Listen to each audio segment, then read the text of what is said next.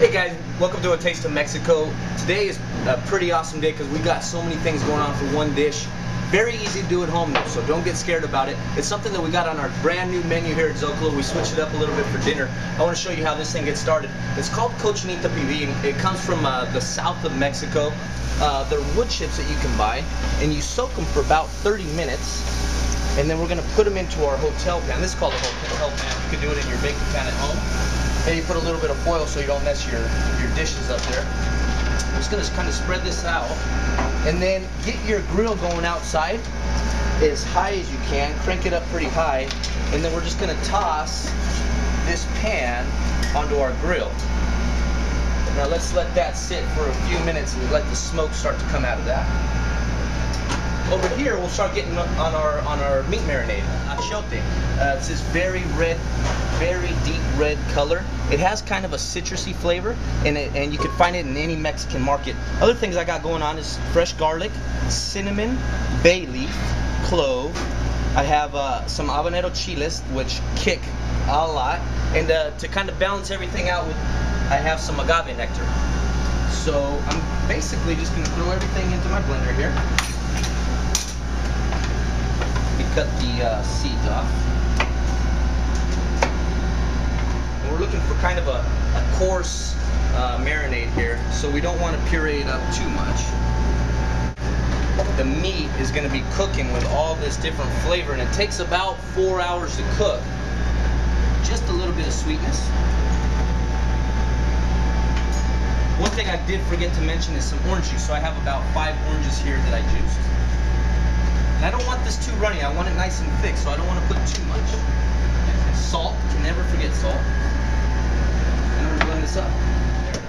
I have pork shoulder, which you can find in the stores. It might be called pork butt there as well. And I'm gonna season this first with a little bit of salt.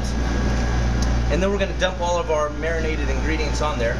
And we're gonna put it on banana leaves. Now I salted this up nicely. I wanted to go pretty heavy with the salt because this is really the last time I'm going to get to season this meat. Take my glove off here. And then we're going to dump in the marinade. Now, I did put quite a few ingredients in this marinade. Sometimes that can be a, a distraction of not wanting to make a dish. If you don't want to use all those you know, get the basics. Get your cinnamon, get the garlic. Uh, you don't even have to put the pepper if you can't find it. Definitely want to find that achiote seed. Look at the color that we got going on here. It's incredible, super pink.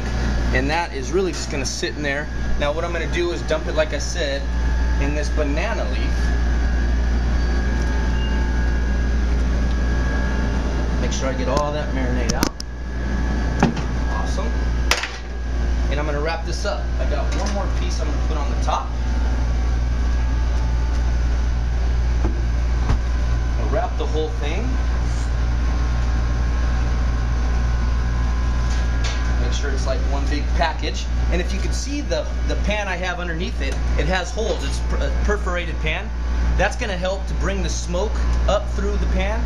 It's gonna, the smoke's going to hit the banana leaf and everything's going to impart into our meat. I'm going to wrap this up with a little bit of foil. You don't want any of that smoke to leave. Now something you should know, I don't my dish to only taste like smoke. So I'm gonna leave it on the wood chips, let that get going and, and smoky, and I'm only gonna leave it for about a 45 minutes to an hour, just to impart a little bit of smoke, but not only taste smoke when we're finished off. All right, let's go to the grill. Okay, so we've had our meat on for about 45 minutes to an hour. Now remember, we don't want to cook the meat here the whole time because then it'll only taste like smoke. We just want that little bit of flavor. What I'm gonna do is finish it off in the oven. I got my oven at 275 degrees. Now this dish does take a little bit of time, so if you have some friends coming over, remember that you need about four hours to cook it. It's not four hours of prep time, it's just four hours of cooking. So I'm gonna pull this off. And again, we've got one on top of the other. Look at all that smoke coming out. That is gonna be so awesome. I'm gonna put it in another one, another pan, and then we're gonna finish this off in the oven. I did this same process yesterday, and this was my end result. So look at the color. It almost has like an orangey-ish color, and that's from obviously from our achiote. The meat is super tender, and I'm gonna finish it off. I got a little bit of butter, and then if you get in here, Chris, I take I took all the same ingredients that we used for the marinade, but I added more agave nectar to it, and I'm making a glaze. So that's been sitting in there for about 45 minutes. It got all nice and thick on me. Add some butter in my pan, and I'm just gonna finish this dish off. Once this butter starts to become brown, it's going to give a nice nuttiness to the flavor. It's going to caramelize the outside of the meat and become perfect, perfect, perfect for dinner. We'll just let that sit for about three minutes. I don't want to touch too much because I want it to caramelize on the bottom of the pan. The more you touch, the less caramelization you get. Look at that color we're going for. That is the color and caramelization we are looking for. This is just about to be finished. Now I'm going to add my glaze into the pan. So we got the nice flavor of the butter in there. Everything's nice and caramelized up that glaze that was super thick, I'm just going to pour a tad into it. And that's going to be our sauce for the dish. Here. Look at the color change on here. It is ready to be served. Well, let's go to the plate. Very simple. I took the same banana leaf that we cooked the meat in. Cut it up just for a little plate presentation. Put my meat here in this dish. I'm to top just a little bit of more of my glaze on top of this meat here. A couple of little sides for this. I got a few. One, pickled red onions. I just pickled this in a little bit of uh, orange juice, lime juice, red wine vinegar. It has habanero chile in it still. Put that on the side. Put this guacamole here on the side as well. And then for the people that love heat, this is some habanero salsa. Uh, man, I'm ready to start eating. Thank you guys so much for coming out. I really appreciate it.